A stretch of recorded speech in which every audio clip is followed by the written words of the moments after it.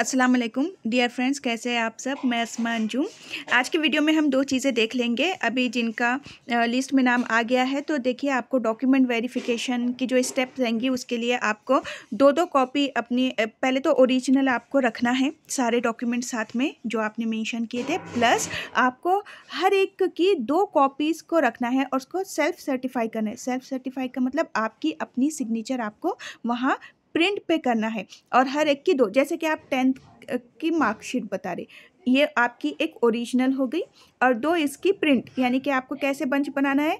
एक प्रिंट, फिर दूसरी एक और उसकी प्रिंट। ऐसे दो। अब ये दो बंच आपके बन जाएँगे। जितने भी ओरिजिनल डॉक्यूमेंट रहेंगे, उसके दो दो दो दो प्रिंट रहेंगे तो दो बंच आपके वो बन जाएँगे। सेल्फ सर्टिफाई करना है मतलब उस पर आपकी अपनी खुद की सिग्नेचर आपको करना है।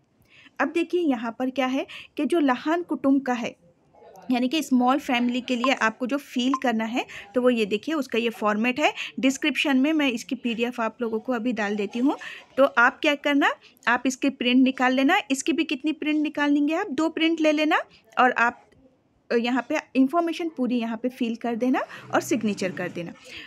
प्लस दूसरा जो है कि आपका रहेगा जो सेल्फ सर्टिफाइड सेल्फ डिक्लेरेशन जो आपका फॉर्म रहेगा, ये वाला। अब ये देखिए, ये यहाँ पर है मराठी में तो आप यहाँ पे फ़ोटो अपनी यहाँ पे आप कर देना। यहाँ देखिए, ये प्लस ये इंफॉर्मेशन टोटल यही चीज़ यहाँ इंग्लिश में है सेल्फ डिक्लेरेशन की, कि आपको क्या करना है, आपका नाम वगैरह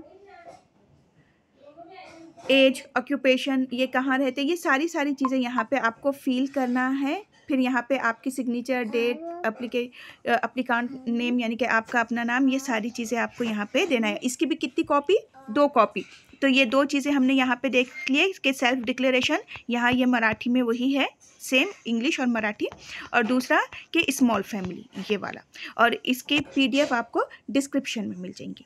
वीडियो को शेयर कीजिए और जितने भी डॉक्यूमेंट्स आपको लगेंगे वेरिफिकेशन के लिए, उसके लिए अभी जल्दी ही वीडियो अपलोड करेंगे। आप वो सारे डॉक्यूमेंट की दो दो कॉपीज़ रेडी रखिए आपके पास। अल्लाह हाफिज़।